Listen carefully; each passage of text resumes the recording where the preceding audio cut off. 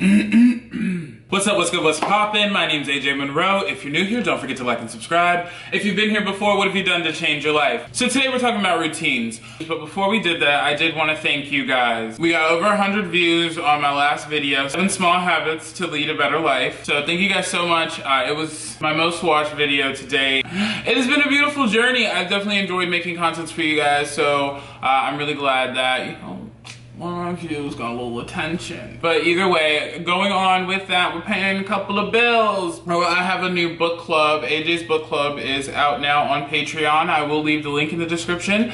And you guys can come and join me. The smallest package is $3 a month if you're looking for a sense of community, something to do if you love reading books, or you're looking for one of those hobbies that we talked about all the time. I think this is perfect for you. Um, come join. $3 a month. You can upgrade whenever you want. There are giveaways, there are Zoom calls, there are live streams, there are daytime cocktails. I just kind of think that there's a little something for everybody on there. So come join the team. Come, come join the family.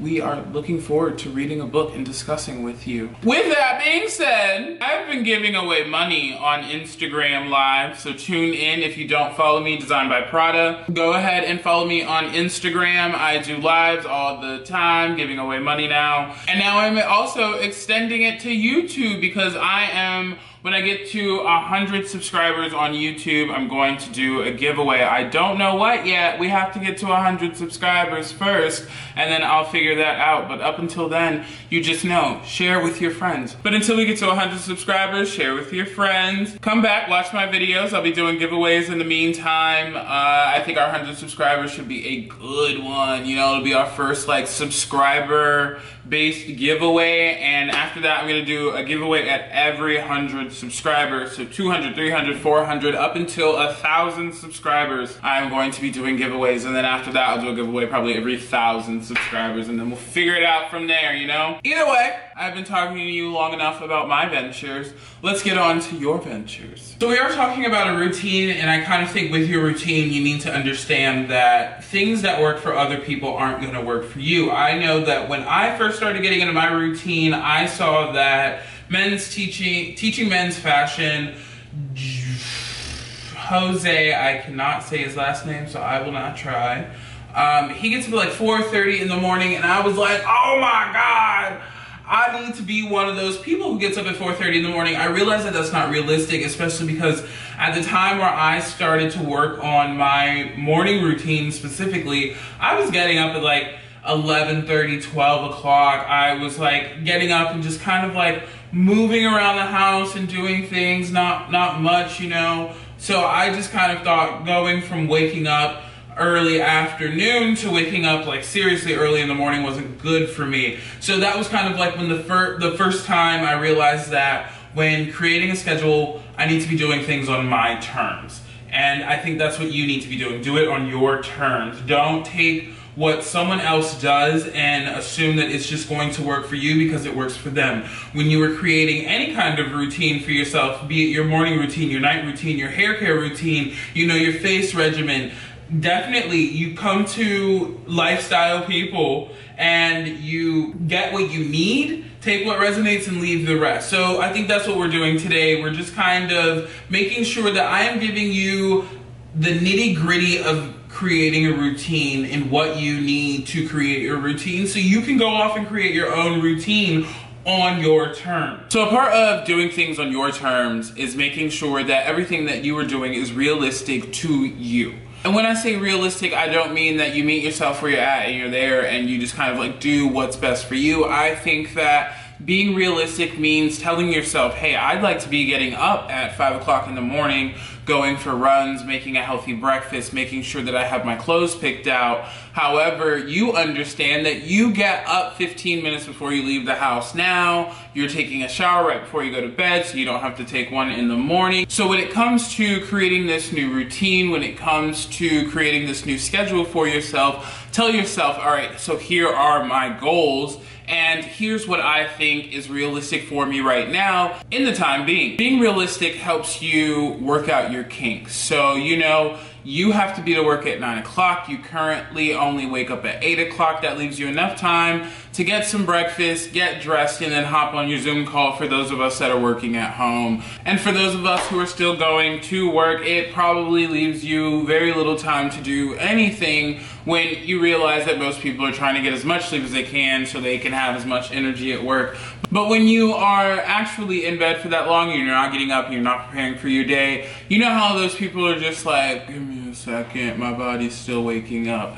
That's kind of like what it is. That's what it's like. You're not really getting more rest. You're actually being a little bit less efficient than you could be if you woke up just a little earlier in order to get your body acclimated to your starting day. When I was creating my morning routine, I made sure that I put everything on there. I was like, ah, we're gonna do everything we wanna do. So um, I had it set at like six o'clock in the morning. We were gonna make wake up. We were gonna do meditation. Then we were gonna go for a run for 45 minutes. We were gonna come back here, do yoga, and then a little bit of strength training. After strength training, we were gonna get in the shower and then make breakfast. And then after that, we were gonna read a book. I don't know how many things that was. I'll count them later. But for someone who got up at 12 o'clock, that just kind of seems like you're piling a lot on, especially for 6 o'clock in the morning.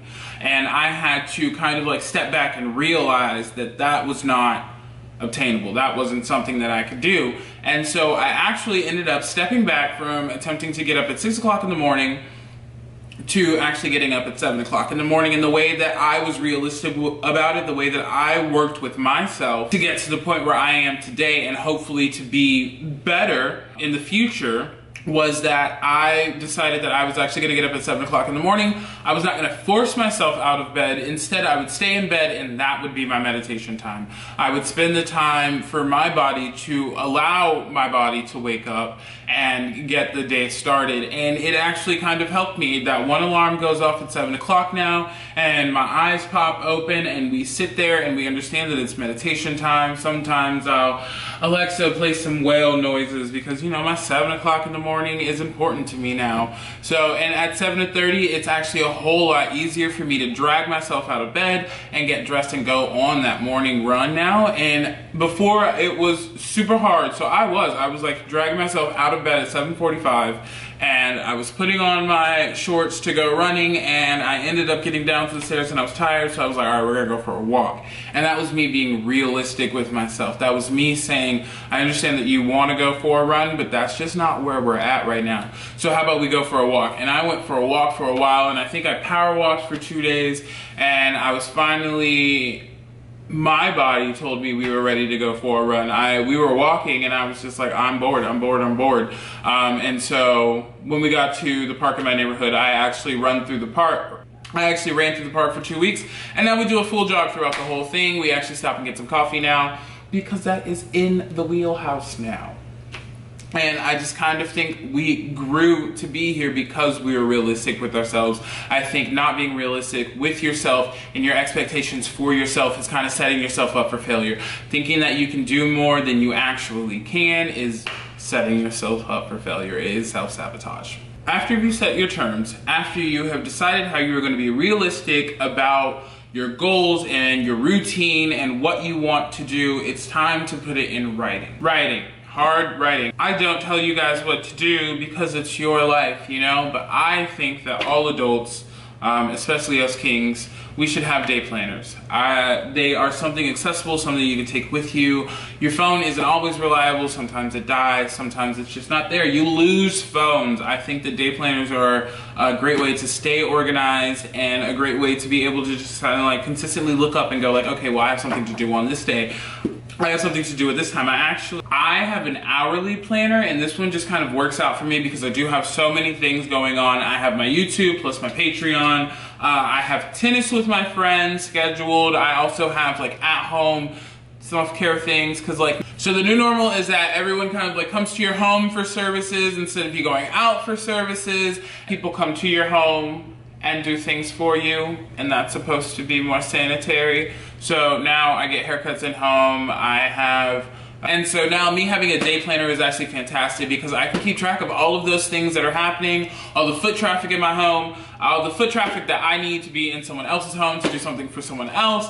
Um, it's all in here. It helps me keep everything on track. Not only do I keep a day planner, but I also keep a calendar for all of my YouTube and Patreon stuff. It's kind of like super important to me, so I keep everything on the wall. This is everything of me putting in writing in and making it realistic for myself. I love writing. I, I physical is what I need. I'm just kind of one of those people. I am an earth sign, I'm a Taurus, I'm a Capricorn. I, writing is something that I love to have. So putting it in writing definitely helps me. I think that making things more physical, something that you put your eyes on, something that is specifically made for your schedule is something that is gonna help you stay on track. I think having a phone or having it on your computer. I think that it's so easy to go, all right, well, I need to be checking my schedule, but I just got a notification for something, so let me go check that notification. If you are looking in this book, this book is not going to tell you do anything else other than look at this book.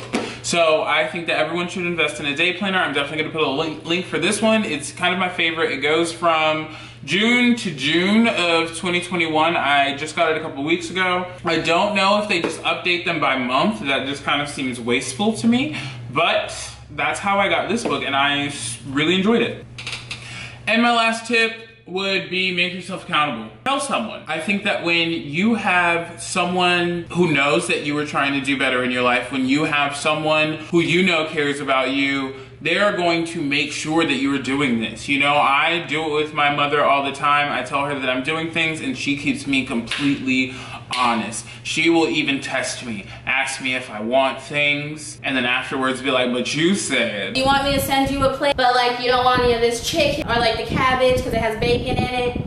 Yeah, because you're vegetarian. Okay, so I'm gonna send the chicken. No chicken because you're vegetarian. You lying? Alright. And I'd be like, but you asked me if I wanted it making yourself accountable just kind of like holds you a little bit more near and dear to your goals, near and dear to the things that you really want to make happen. And I think that's truly important for what we have going on. Making yourself accountable is one of the best tactics to making sure that you accomplish these goals. I'm not saying that you shout it to the rooftops. I'm just not. Uh, a lot of people don't have your best interest in heart, and I definitely think that energy, energy flows, and um, people with bad intentions will send you energy that is not conducive to your growth or your brand. And so I think when making it accountable, tell someone you like, tell someone you care about, tell someone who cares about you.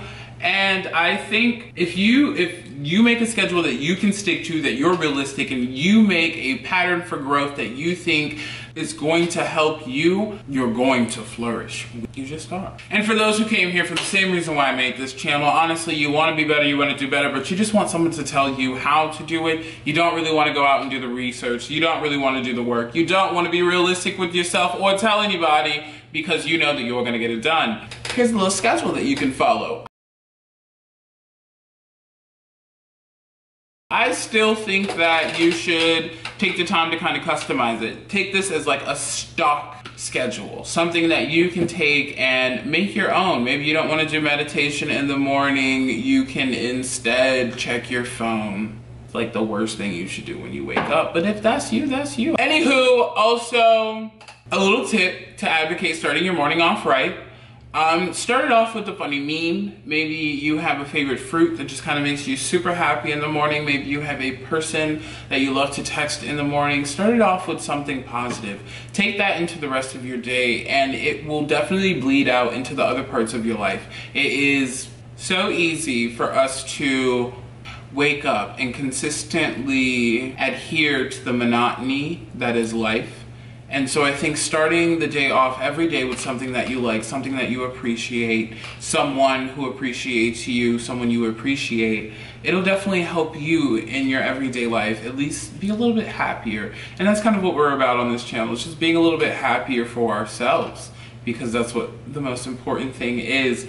I'm AyJay Monroe. Uh, check out my Patreon. Leave me a comment, like, subscribe. I hope to see you again next week. It, I'm always here.